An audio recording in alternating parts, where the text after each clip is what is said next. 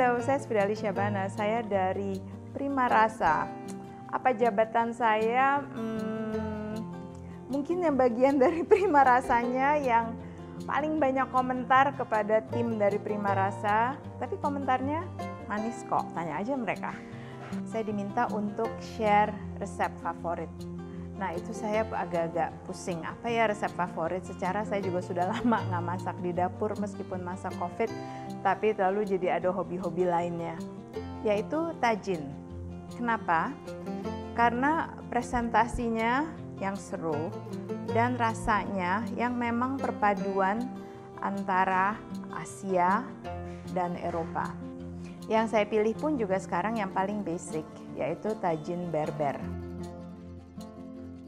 dengan kuskus dan juga dengan salad fatush. Ini saya hanya untuk membuat uh, kulitnya matang, tetapi proses masaknya sebetulnya tidak bukan ini. Ini makanya. Jadi ini ghee, di mana ini adalah uh, kombinasi dari um, olive oil dan butter. Jadi um, ini kan dasarnya ya bawang bombay, di mana saya cincang kasar dua buah, satu setengah sih karena agak kebesaran yang ya tadi yang saya ambil. Lalu sekarang saya masukkan bumbu-bumbunya. Saya masukkan kayu manis dua batang.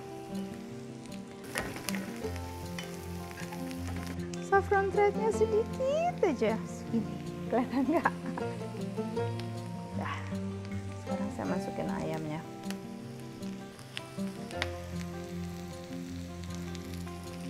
Ini nanti kita masak dulu antara ayam dengan uh, dengan bumbu-bumbu ini.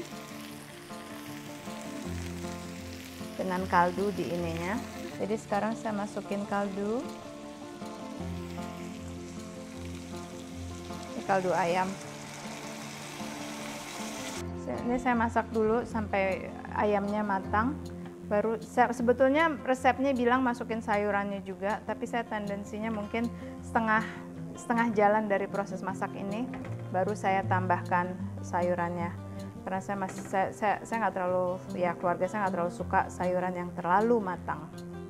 Ini yang saya suka dari masak-masakan Maroko baunya nikmat banget, harum sekali. In garam merica. As a side dish, um, saya suka bikin salad fatush. Ini uh, lemon juice diperes untuk sebagai basis dari uh, salad fatush uh, dan olive oil. Ini tinggal PR kita cuman ngaduk aja jadi satu uh, semua bahan-bahannya yaitu daun bawang mint yang sudah dicincang parsley radish paprika merah.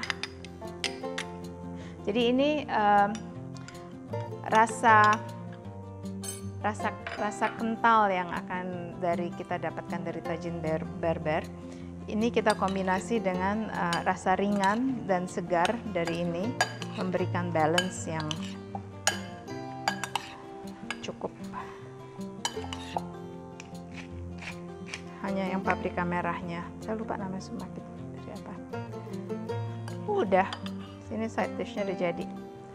Dan ini kalau bersisa bisa disimpan di lemari es dua hari gitu. Jadi kita bisa selalu seperti acar. Samalah perannya sama acar kalau kita di makanan Indonesia. Kita sekarang masukkan sayuran. Jadi sebetulnya kayak apa ya? Kalau Indonesia ya semur, sama lah. Jadinya saya masukkan tomat, zucchini, paprika hijau,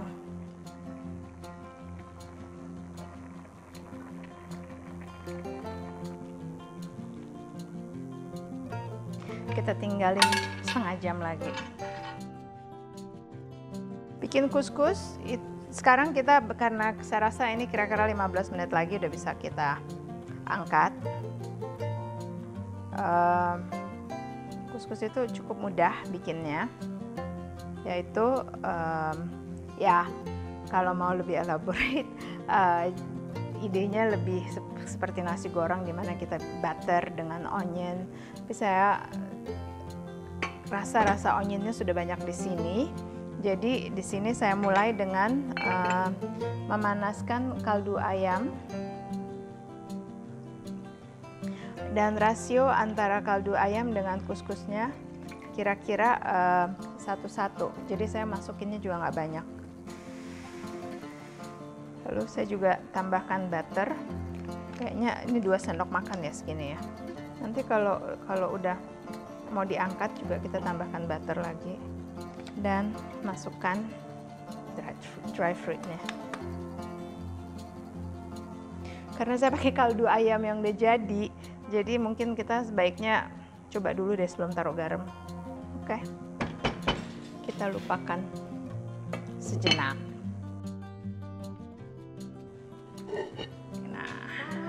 nah selesailah itu tajinnya dan ini kuskusnya. Jadi bagaimana saya menghidangkan? Oh ya saya tadi tambahkan butter butter lagi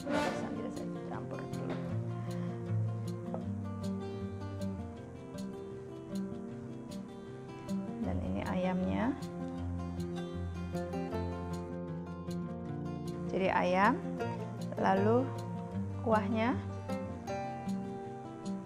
Ya, makanya tadi saya bilang meskipun di kadang-kadang di instruksi masak kuskus itu kita diminta untuk uh, saute onion dengan dengan uh, olive oil sebelum memasukkan kaldu, sebelum memasukkan kuskus. Saya saya tidak karena saya lebih suka untuk memakai kaldu dari sini untuk dituang ke kuskus. Dan uh, ini acarnya di samping. Gitu. Selesailah sudah. Coba ya, aku coba. Hmm. Hmm, enak. Jadi begitulah. Masaknya gampang, cuman makan waktu aja. Tadi kan kira-kira setengah jam motong, satu jam masak, tapi sambil masak pun saya menyiapkan ini, salad fatush, dan 15 menit sebelum selesai, saya menyiapkan kuskusnya. Jadi satu setengah jam selesai. Semoga mencobanya dan Nanti kita kalau mau nanti saya upload resep-resep tajin lainnya yang saya suka di primarasa.co.id.